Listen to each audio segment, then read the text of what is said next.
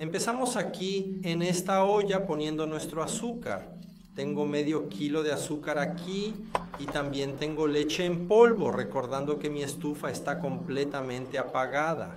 Tengo 150 mililitros de agua aquí.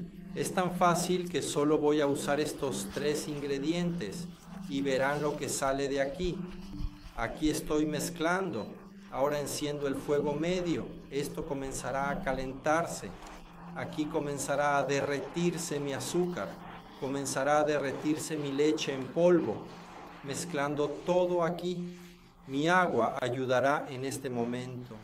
Es muy importante que sigas revolviendo durante aproximadamente 15 minutos. El tiempo necesario para que el caramelo se forme dependerá de tu estufa. Generalmente toma alrededor de 20 minutos hasta que empiece a oscurecerse un poco y adquiera un color caramelo. Ahora tengo aquí uno que está listo, así que lo voy a poner aquí. Mira cómo cambió de color, es increíble, ¿no? El color ya comenzó a desprenderse del fondo. Aquí tengo uno más. ¿Cómo puedo llamar a esto? Un refractario. Un refractario, que se me escapó la palabra de la cabeza. Un té con mantequilla, ¿vale? Solo esto aquí. ¿Qué debo hacer?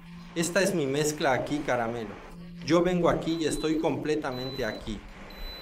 Ven aquí, ven aquí, vamos a poner todo aquí. Gente, esto aquí te hará activar tu memoria afectiva. Es exactamente lo mismo. Tengo este dulce aquí. Déjame mostrarlo aquí, pimiento. Es cuadradito y bonito. ¿Qué debo hacer? Por favor, levántate aquí para mí. Voy a dejar enfriar durante unos 15 minutitos. ¿Está bien? Él se quedará aquí. Mira esta belleza, gente. Mientras tanto, mira en la nevera. Se endureció. Corte simple. Ven conmigo. Primero apuntas al medio aquí. Oh, desde aquí, aquí, el medio. Ahora aquí, apuntas al medio. Aquí, oh. Vamos a hacer un juego de tres en raya. Luego, si quieres uno más pequeño, puedes cortar un pedacito. Mira esta obra de arte, gente. Mira qué espectáculo hemos hecho aquí. ¿No es exactamente igual que esas ventas de barrio? De esas tienditas de barrio, háblame, gente. ¿No activé tu memoria afectiva? Sin ningún conservante, natural, delicioso. Vamos a darle un mordisquito a esto, ¿vale? Es un espectáculo, ¿verdad? Nuestra, el sabor de la leche es verdaderamente espectacular e inigualable. Mira el potito, puedes hacer un potito así o dejar en tu casa. El potito lo guardas, una delicia.